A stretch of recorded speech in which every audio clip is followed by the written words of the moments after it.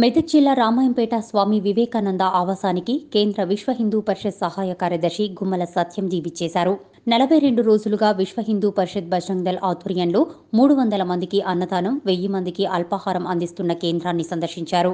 భారతదేశం అన్నపూర్ణ అని అతిథి దేవో భవ అని చూస్తామని ఆకలిగా ఉన్నవారికి గత నలభై రెండు రోజులుగా అన్నం పెట్టి ఆదరిస్తున్న విశ్వ హిందూ పరిషత్ బజరంగ్ దళ్ కార్యకర్తలు ధన్యులని ఈ సందర్భంగా విశ్వ హిందూ పరిషత్ కేంద్ర సహాయ కార్యదర్శి గుమ్మల సత్యంజీ అన్నారు. కార్యక్రమంలో విశ్వ హిందూ పరిషత్ కేంద్ర సహాయ కార్యదర్శి గుమ్మల సత్యంజీతో పాటు జిల్లా అధ్యక్షులు పబ్బా సద్యం విశ్వ హిందూ పరిషత్ మెదక్ జిల్లా సంఘటన కార్యదర్శి పుట్టి మల్లేశం సంగమేశ్వర్ పోచమ్మల గణేష్ పండరీనాథ్ శంకర్ చింత సంపత్ కుమార్ భార్గవాచారి సరగు నరసింహులు గంగం శ్రీనివాస్ పోచయ్య తదితర విశ్వ హిందూ పరిషత్ బజరంగ్ దళ కార్యకర్తలు పాల్గొన్నారు.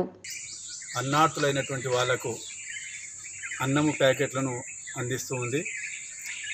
ప్రతిరోజు కూడా ఆ విధంగా ఎవరికైతే భోజనం లేక ఇబ్బందులు పడుతున్నారో అలాంటి వాళ్ళను గుర్తించి వాళ్ళ ఇంటికి వెళ్ళి భోజనం ప్యాకెట్లు ఇవ్వడం జరుగుతుంది విశ్వ హిందూ పరిషత్ కార్యకర్తలు.